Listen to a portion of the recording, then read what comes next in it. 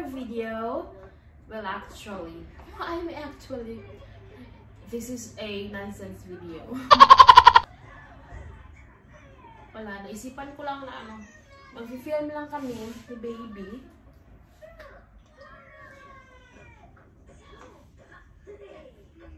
Kanina pa to nagising.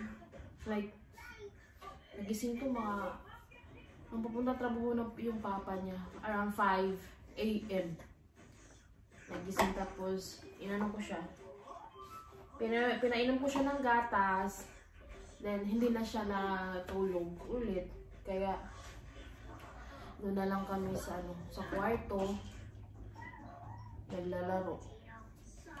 Then now, she's watching her chip and potato. Hindi pa ito naliligo. Mamaya ko na ito paliguan.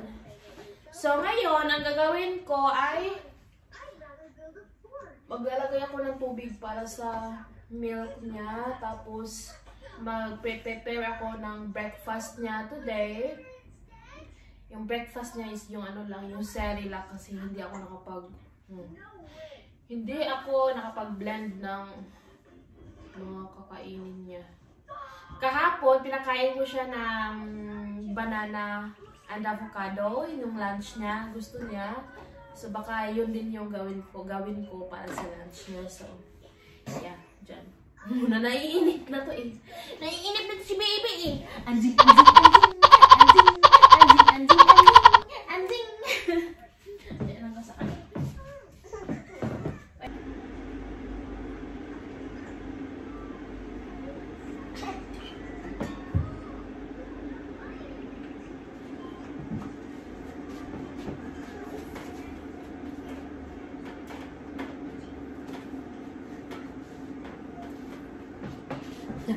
anjing anjing anjing anjing kadang kadang kadang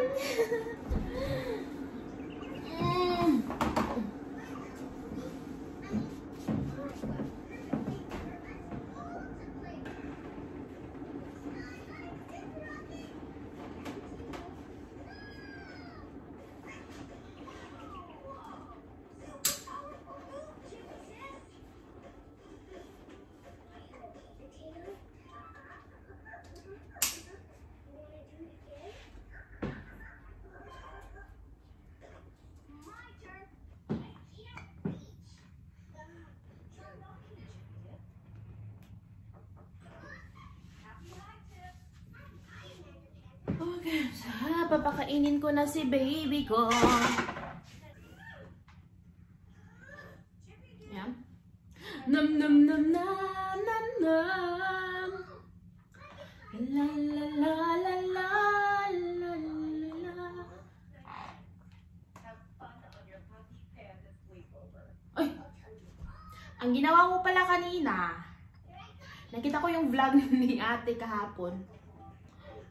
Ah, kagabi kahapon. Kagabi ko pa yung pinanood kahapon.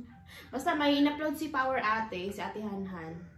Kung hindi pa kayo nakasubscribe kay Ate, please subscribe. Then, please watch her videos kasi monetize na si Ate Hanhan. So, congratulations. Yeah. Ah, kasi pinanood ko yung, ano, yung vlog ni Ate kagabi, kag kahapon. Basta pinanood ko siya yung haul ng patpat haul. Tapos kanina, di ba sabi ko sa inyo, nagising ito ng 5 a.m. nung paalis ng trabaho yung papa niya. Eh, hindi nat natulog. Hindi na bumalik ng hindi na siya natulog balik. Ay, ano yun? Ano sa Tagalog? Hindi siya bumalik. Basta hindi na siya natulog. Kaya ang ginawa ko, nag-shopping ako online. Nag-shopping ako sa patpat. Ay, nako. Kaya, ayun. Napagastos na naman. Pero okay lang. Lahat pala kay baby. Mga, mga ano niya, mga dresses. Kasi, ano eh, madaming pinapadala si ate ng mga damit ni baby. Pero ano yun, pang mostly is pang winter. So ngayon, dito sa amin, hindi na malamig. Kaya, wala nang damit si baby masyado. Kaya ayun, bumili ako, I mean, ng, ano, nag-shopping ako online sa patpat na mga dresses at saka leggings. Kasi wala na siyang, masisikip na yung mga, ano niya, leggings. Yun yung pinamili ko. Magtataka na naman yung papa niya, bakit ano? but, but may email siyang galing sa PayPal na ano, na resibo. Alam naman ng papa niya na pag, ano, nagsi-shopping ako online para kay baby. Hindi naman yung nagre-reklamo. Minsan nga, pag nag, ano ako, nag-scroll ako sa patpat, sabihin ko sa kanya na, tingnan mo, oh, mag, ano, ang cute ng damit. Tapos sasabihin na lang ng papa niya, bilhin mo, bilhin mo. Yun lang yung sabi ng papa niya. Hindi yung mareklamo para, para sa baby. Pero hindi naman ako nag, like, nag-shop online na sige-sige. May, may limit lang. Limit ng ano, $100.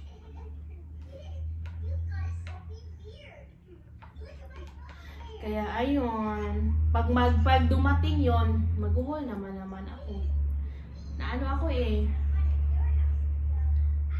Nadala ako sa aking emosyon. Charot.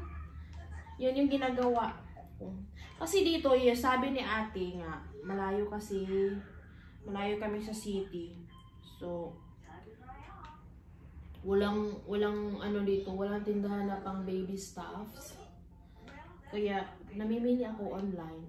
So, mas mabuti na yung online kasi hindi ka pumupunta sa stores, like sa situation natin ngayon na may COVID. Para ano na din, safety na din. Kasi na may bata nga kami.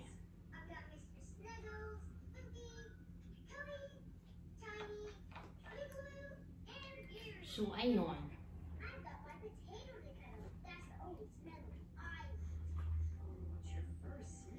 Ang aga pa, pero naka-chip and potato na tong bata. Ay, siya!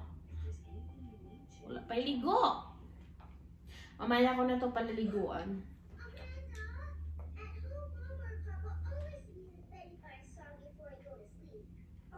Twice a day na ito naliligo. Kasi mainit na. Nung winter, naliligo ato isang beses lang sa isang araw. Pero ngayon, mainit na kasi dito. So,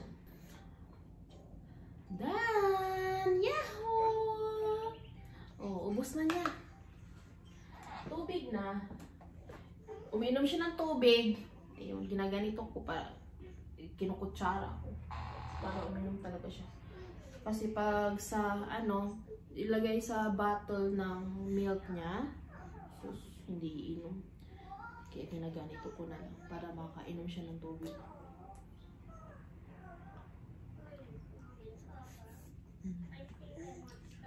Kay teeth.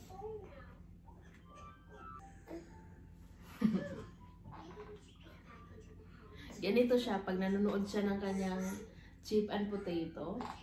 Tumatawa siya, tapos umiiyak. Oh, happy siya ngayon eh. Minsan, takot siya sa ano, kasi yung chip and potato, mga characters are animals. Then, takot siya sa giraffe. Ah, zebra pala, zebra. Pag nakikita niya yung zebra,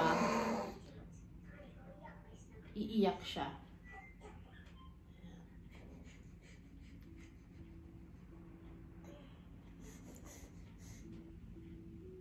Hmm, tingnan niyo. Nakasmile siya eh.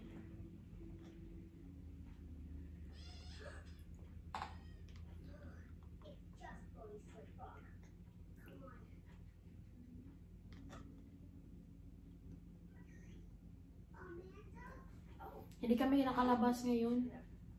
Tinatamad kasi ako. Hindi kami nakapaglakad sa labas. Mamaya na sigurong hapon. Ay, kahapon nga pala may house inspection. So, nung last, nung Saturday, wala akong upload. Tsaka, nung Sabado, tsaka, tsaka Linggo, naglilinis ako dito sa bahay. Nililinisan ko. So, kahapon may inspection around 12, ano, 11.30, dumating yung nag-inspection. Yung babae. Babae yung nag-inspection. Last, no, last, inspect, last inspection, lalaki. Tapos ngayon ay, ay, ano, babae. Kasi nangungupahan lang kami. So, pag nagre-rent ka dito, every 6 months, may house inspection. Pero, dito sa amin, mag 2 years na kami dito. Pero, pangalawang house inspection pa lang yung ginawa nila eh. So, ino um, kami yung kami aming unit namin yung last na na in-inspection. Ah, napansin ko na ang tagal niya sa isang unit, matagal siya lumabas ng unit like 30 20 to 25 minutes at sa loob. So, nung sa amin na dito sa bahay, pag open ko, nakangiti siya kasi malinis daw. Sabi niya, of all the units, our unit is the cleanest.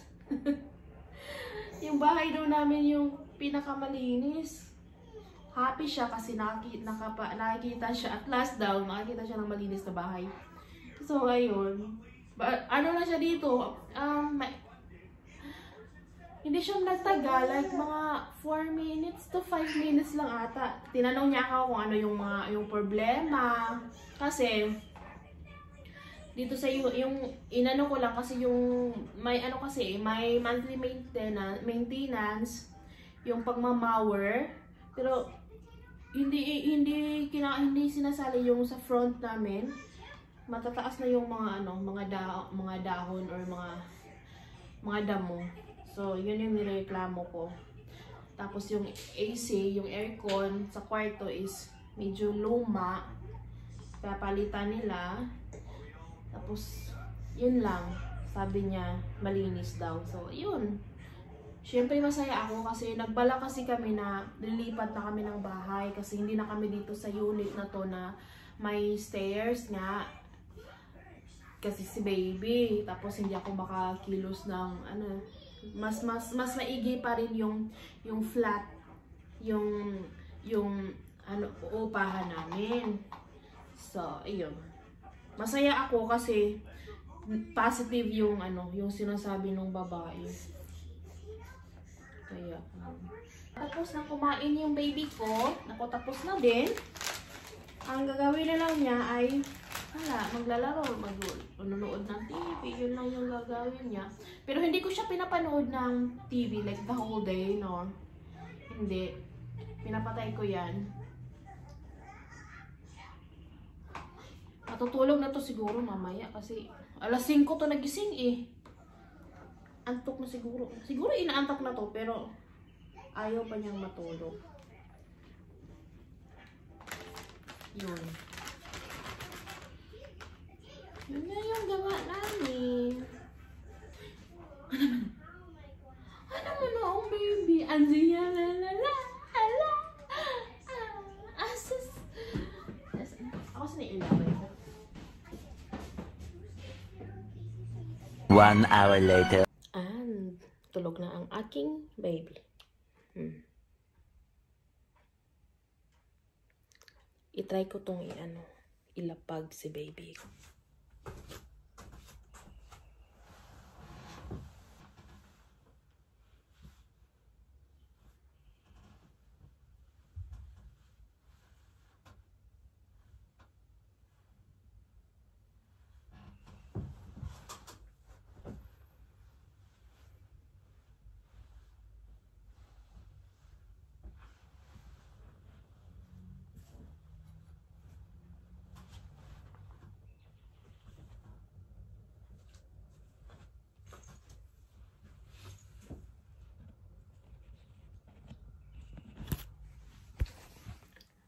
So, ayun, tulog na siya.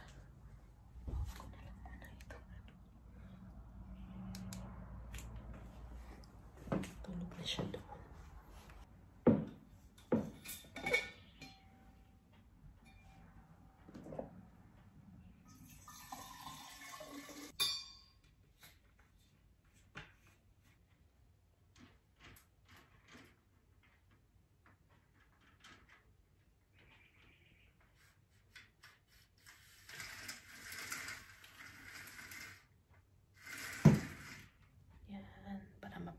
papasok yung presko na hangin.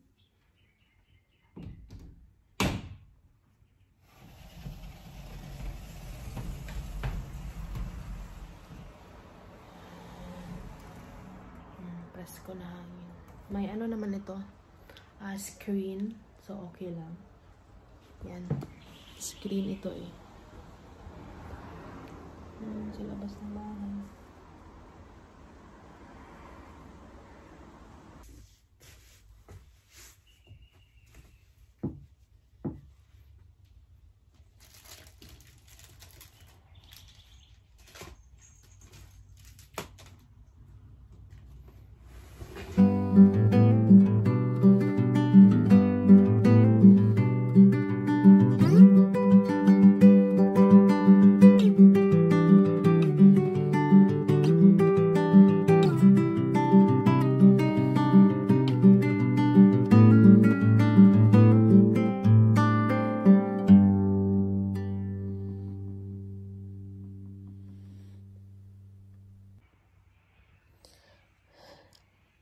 Nagising siya kanina kasi tumawag yung papa niya. Malakas yung volume ng cellphone. Ayun. Balik naman sa pagtulog. Oh, nagising na ang aking baby love. Hi, Naging. Hmm, basta maano siya. Basta maano yung tulog niya. Yun, hindi makatulog ng maayos. Kaya yan. Dako ba sa kanaw eh? Mm. Mm. Smell me. Ah. Ambang. Okay. Mhm.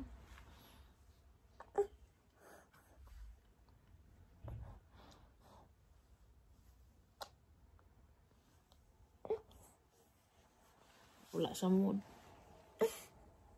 Hi. Mhm. Okay. Hmm, So, ngayon ay tapos nang maligo ang aking baby love. So, ayun ko muna.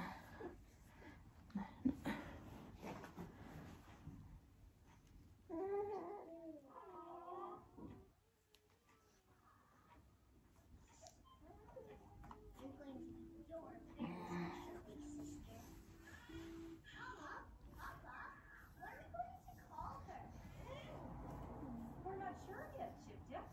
Oh. I want to hold the baby. Just like I did when Chip was born. Oh, of course you can, Smile. Here, have a seat. Oh. Manaligo ang baby tiya ni mama. Ating yaring kiding, kiding. Dala! Naong ay